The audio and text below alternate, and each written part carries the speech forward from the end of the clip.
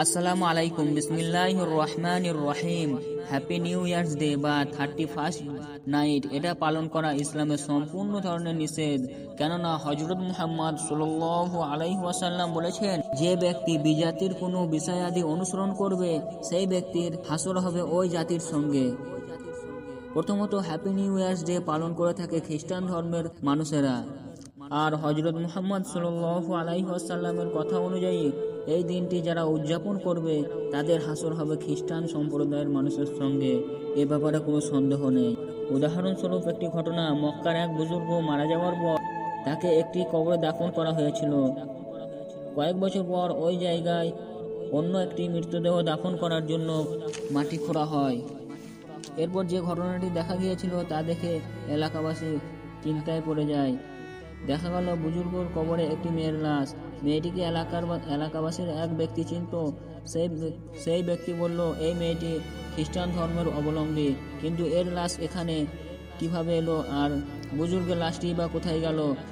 এই উত্তর খুঁজতে যে ব্যক্তিটি মেয়েটিকে চিনত, সেই ব্যক্তি মেয়েটির এলাকায় চলে যায় এবং সেখানে গিয়ে জানতে পারে মেয়েটি যখন জীবিত ছিল, তখন মুসলমান ধর্মকে ভালোবাসতো। এরপর মেয়েটিকে যে জায়গায় দাফন করা হয়েছিল, ওই জায়গা খুঁড়ে দেখা গেল, সেই মক্কার বুজুর্গের লাশটি ওখানে আছে।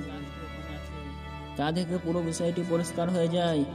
আর এদিকে বুজুর্গের বাড়িতে খোঁজ নিয়ে দেখা গেল, বুজুর্গ জীবিতকালে খ্রিস্টান ধর্মের একটি নীতিকে ভালোবাসতো।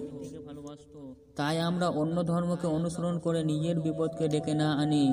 নতুন বছর এলে আজ মুসলমান জাতীয় অন্য জাতির মতো মেতে ওঠে নাচ গানে। নতুন বছরকে আহ্বান জানানোর আনন্দে।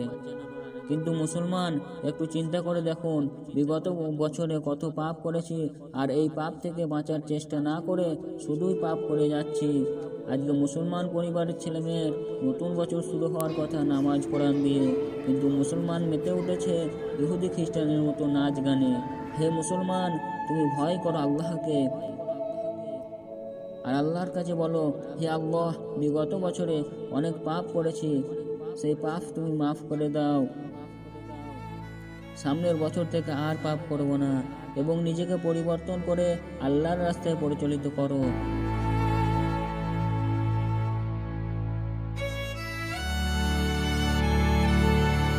সমস্ত ইসলামিক নোটিফিকেশন পেতে এক্ষুনি সঙ্গে থাকুন, পাশে থাকুন, রসুল সাল্লাম টিভির সঙ্গে।